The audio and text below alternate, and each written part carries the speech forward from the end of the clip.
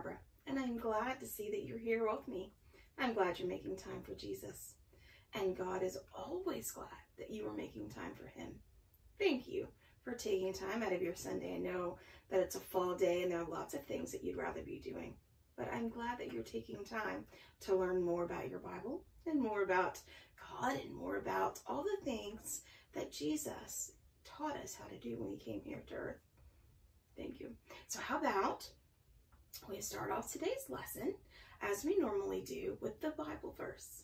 So listen along as Lola Grace reads us the verse today. In the days to come, the mount of the Lord's house shall be established as the highest of the mountains and shall be risen up above the hills. People shall stream to it, and many nations shall come and say, Come, let us go to the mountain of the Lord, to the house of the God of Jacob, that he may teach us his ways, and we may walk on his paths. For out of Zion shall go forth instruction and the word of the Lord from Jerusalem. Micah 4 1 2.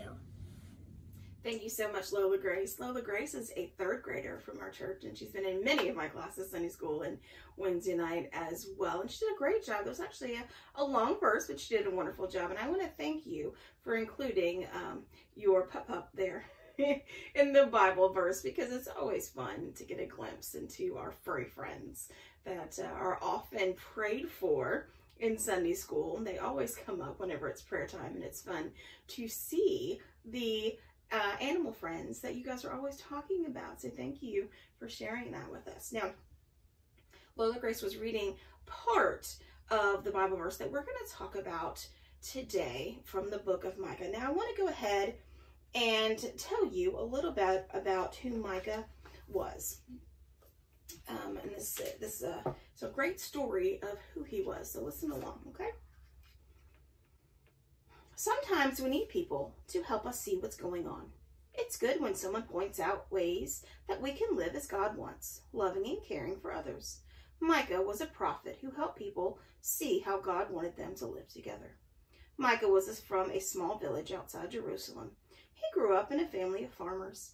He spent every day in vineyards and fields. Sometimes people in those villages were treated badly by rich, powerful people in the cities. Micah knew this was wrong. He traveled to the big city of Jerusalem and said, God doesn't want rich and powerful people to treat poor or powerless people badly. Images of fields and trees from his village filled his mind.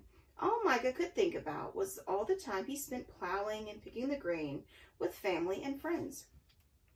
When the world is filled with peace, people will beat their weapons into farm tools. No one will make war. They will sit under our grapevines and our fig trees, Micah told the people in Jerusalem. Micah knew what it was like to be poor. He knew deep down inside that it was what it was like to be treated terribly by people who had power and money. He had big ideas about how God wanted people to treat one another. Like other prophets, Micah had a difficult job. He had to speak hard truths to God's people, truths that they did not want to hear about how powerful and rich people treated others unfairly. Micah talked about the destruction that was coming if God's people ignored how God wanted them to treat one another. What God really wanted was for people to do justice, love kindness, and walk humbly with God. So Micah was a prophet. Remember how we've talked about a couple of other prophets in the past weeks? Can you think of their names? Elijah and Elisha. Yeah, so Micah's also going to be a prophet, and a prophet is going to tell other people about God. It's going to be kind of like Jesus does. He's going to they're going to say this is what God wants. You need to listen. This is this is what we're supposed to be doing. And that's what he's going to do. I want to break down uh, what it is that Micah is talking about. I'm going to read the entire thing to you and then we're going to we're going to break it down a little bit more, okay? So if you will listen carefully. In the days to come, the mountain of the Lord's house shall be established as the highest of the mountains, and shall be raised up above the hills. People shall stream to it, and many nations shall come and say, Come, let us go up to the mountain of the Lord, to the house of the God of Jacob. that he may teach us his ways, and that we may walk in his paths. For out of Zion shall go forth instruction, and the word of the Lord from Jerusalem. He shall judge between many peoples, and shall arbitrate between strong nations far away. They shall beat their swords into plowshares, and their spears into pruning hooks. Nation shall not lift up sword against nation, neither shall they learn war any more. But they shall all sit under their own vines and under their own fig trees, and no one shall make them afraid. For the mouth of the Lord of hosts has spoken. For all the peoples walk, each in the name of its God, but we will walk in the same name of the Lord our God forever and ever. In that day, says the Lord, I will assemble the lame and gather those who have been driven away, and those whom I'm I have afflicted. The lame I will make remnant, and those who were cast off a strong nation, and the Lord will reign over them in Mount Zion now and forevermore. So what is Micah trying to tell the people of his time. Can you can you kind of get some hints from those words? He's telling them to make peace and not war. He's telling them that just because you have money or power means that you can't treat other people unfairly or unkindly. And he is longing for the day when everyone will worship the same God and they will love the one true God. Have you ever heard of Zion? It may sound familiar to you. There are lots of hymns and songs written about it. Now, Zion is going to be the hill in Jerusalem on which the city of David was built. But for Christians, we also use that term Zion to mean a heavenly city or the kingdom of heaven, a place of peace and, and a place with God. And that is what Micah is looking forward to. See, Micah didn't have much. He was um, he was a son of a farmer. They didn't have very much money. They were very poor. And he was treated badly. And he saw his friends and the people that he loved being treated badly. So as he grew up, he came from those who did not have much. And as, there, as Pastor Jay often says, the least and the last and the lost. So he knows what it feels like to be those people and he knows that these people need to be they need to be helped in the sense of their spirit. I'm sure with their things too. They they they, they probably need help in in in their you know with money or with shelter, different things. But they also need to be helped in their spirit. They need to be treated kindly. They need to be treated fairly, and that's what Micah is trying to tell. And a lot of what he has to say is also about um, peacefulness and, and not war. So let's let's take apart and what let's see what it is that Micah is is preaching, what he's what he's trying to tell the people of his time. So he says, teach us his way so we can walk his paths. So what he's trying to tell them is, oh, so that we can follow God. And we know what that means to follow God, right? To do his will, to listen, to trust and obey and uh, to follow his commandments, to read our Bibles, to pray, to serve the one and only God. So we know what that means when Micah's looking forward to a day when everyone, everyone will follow God. Okay, let's look at else what else he's hoping for. He will, and what he says he, God, God will arbitrate between strong nations. So Micah's looking forward to when God will decide the power of the nations. They will be fighting for power, and God will say, Enough. Enough. I am the one true God. You're not going to fight anymore. There's not going to be any battles over power because there's not going to need to be any battles over power. Micah's looking forward to that time. Let's see what else.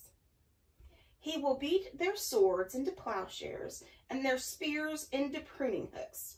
So what he's trying to say is that God will turn their weapons, their um, swords and their spears, into farming tools. So what he is saying is that they will, instead of, instead of destroying with weapons, they will grow. They will grow figs, he says, and vines, vineyards, uh, grapes. They will make something instead of pulling apart something instead of destroying something. And he later goes on to say, and they will sit under the shade of those trees and they will be well rested and they will eat well and they will be happy and fruitful. And it will be a good life instead of a hard life of, of war and destruction. Let's see what else it is that Micah wants. No one shall make them afraid. What he's trying to say is that no one will live in fear any longer. What do we get afraid of? We might be afraid of someone who's bigger than us or more powerful than us. Maybe someone that picks on us or who wants to fight us or, or constantly threatens to fight us or threatens us in general. And so what Micah says is this one of these days, no one, no one will be afraid of anyone any longer because there won't be any reason to fight because God will step in and he will say, no, no longer. Okay, what else is it that Micah is hoping for? We will walk in the name of our Lord, our God, forever and ever. So what he is saying is that um, back in the Bible times, there were a lot of different people from a lot of different nations and a lot of different groups, and they worshiped different gods, little g. Um, gods of fire, gods of water, gods of all sorts of different things. And Micah is looking forward to the day when everybody recognizes the one true God, the Lord of Lords, our God, right? And that they throw away these these ideas that there are little mini gods that that control water and fire and wind and rain because they don't. The one true God is the one who created everything. And so he is looking for that. And he wants to be there the day when we will love and recognize our one true God and live with him eternally. All right, let's see what else Micah is waiting for.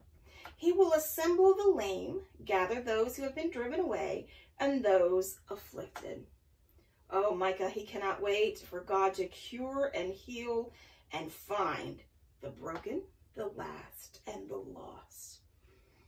So there are people, when we say lame, that means maybe people who cannot walk, maybe who do not have use of their limbs, maybe people who cannot see or cannot hear, uh, who may have lost other senses or abilities to function like everybody else around them. Maybe they can't work or they can't feed themselves or their their bodies are in are in deterioration and those who have been driven away that could be um, where they don't feel wanted or needed or loved and afflicted they could be uh, a disease like leprosy we talked about before um, in bible times or other things that would have happened and micah can't wait for the day when god's going to come and cure and heal and find and make people whole again. And everyone will be able to sit at the same table and be whole again and be together again. What a wonderful, wonderful, ah, what a wonderful thought that is. Let's see what else it is that Micah is waiting for. The Lord will reign over them in Mount Zion. So he says, all this is going to happen and God will reign as our God in the heavenly city that we call Zion. Now, if you remember, we talked about Micah, he was from around Jerusalem. And Zion, uh, the actual place, and as you can see in the picture, do you see there in the picture? That is an illustration of Zion, of Mount Zion. Uh, it's a very beautiful place, it looks like there. And uh, that that is the physical place where everyone will be welcomed and everyone will be made whole. And Micah is telling all of these people this is what we have to look forward to. If you just, if you just listen to me, if you just do what God wants you to do, God wants you to turn away from your from your wicked ways. He wants you to stop fighting with each other. He wants you to walk in peace. It sounds like wonderful things, doesn't it? Did you know that gonna has promised us these things? Did you know that? Now, we're not there. We're not there, are we? Do you see when you look out your window or when you look at the TV, do you see peace and harmony and everyone treating everyone wonderfully? No, we're not there yet. But God has indeed promised us these things. Now, before we get on too much further, let's see if we can figure out which part of the Bible the entire book of Micah comes from. Now, let's look at a couple of the clues um, now, we so it's an entire book of the Bible, and so the main character there is Micah, and he's talking about Jerusalem, and he is talking about Zion, and he is talking about people there, and he's a prophet. So based on some of those clues there, uh, can you decide where in the Bible the book of Micah would be?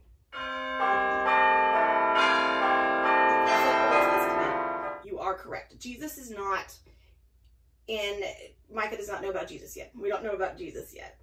Uh, Micah would be a prophet before Jesus comes. Jesus is going to kind of come and take over Micah's job there and really tell everybody the same things and, and shout louder and um, do those things. But yes, this is in fact the Old Testament. So what do you think of Micah's hope for the future? Is it what you want for the future? Do you think that's what your parents and your grandparents want? Do you think people pray for that? For healing and for no war and for harmony and, and safety and for the least and the last and the lost all all be returned to wholeness? While Micah was just one man and he did all he could do, um, just as God has had told him to do, to go out and to and to preach and to tell. He couldn't he couldn't turn that tide of war and anger. And just like I am one Sunday school teacher, I can't I can't do that myself either. But when we come together as Christian people, we do a lot of good together. Did you know that? When we get together and we pray together and we work together for good, we really make a difference. Did you know that? Can you think of some ways that we as Christians work together to fulfill what it is that God wants us to do? Can you think of a couple of ways? God asks us to help those who cannot help themselves. We do a lot of things. We do Caritas. We do IMSEF. We do Operation Christmas Child. We have missions. We do all sorts of things to help as many people as we can help. And you know what we do, even if we're not doing one of those organizational kind of things? We pray.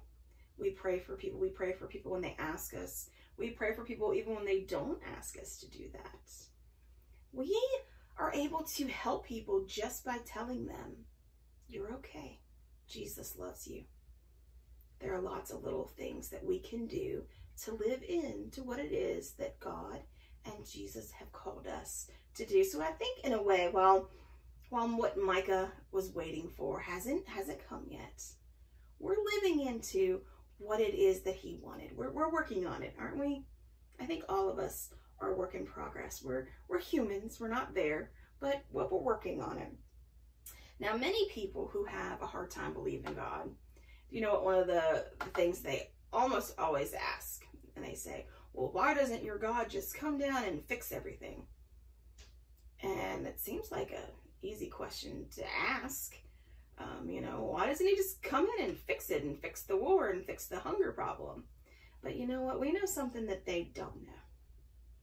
We know that God has a plan. We know we don't know what his plan is, but we know that there is a plan. We know that God is bigger than us. We know that he knows way more than we can ever comprehend. He has a plan for each of us. We know he loves us unconditionally we know not to question what it is that he has in store. We know that everything works for his good. We have faith. Even if it's as small as a mustard seed, we have that faith. And we keep on trying, don't we? I have the perfect song, which I thought was the perfect song to sing to go with our lesson today. So I asked the Sunbeam Singers if they would do a rendition of it for you. And they said they would happy to be, they would be happy to do so. So I hope that you will enjoy the song and sing along if you know it, okay?